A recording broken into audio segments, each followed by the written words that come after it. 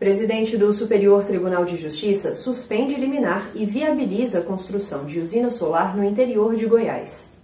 O presidente do STJ, ministro Humberto Martins, suspendeu decisão do Tribunal de Justiça de Goiás que impedia a construção de uma usina de energia solar no município de São João da Aliança.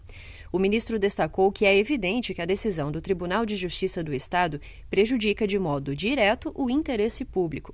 Os supostos proprietários de uma fazenda no local de instalação da usina moveram ação rescisória para tentar rescindir a decisão definitiva da Justiça em processo de regularização da área. E a Justiça Estadual concedeu tutela antecipada para suspender a homologação da sentença no processo original, inviabilizando a instalação da usina.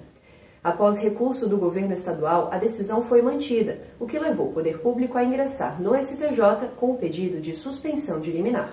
O governo de Goiás mencionou que, após os esforços dos últimos meses para viabilizar a usina, a concessão da liminar trouxe risco de grave lesão à ordem e à economia públicas.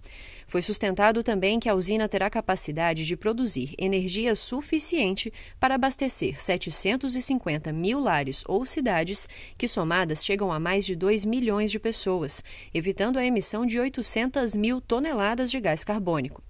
Segundo o ministro Humberto Martins, a importância da geração de energia em momento de escassez de recursos hídricos e crise energética aguda é evidente, assim como são os benefícios indiretos do empreendimento. O presidente do STJ destacou os números do impacto da usina trazidos pelo governo estadual e afirmou que, nesse contexto, não é razoável impedir a execução de políticas públicas.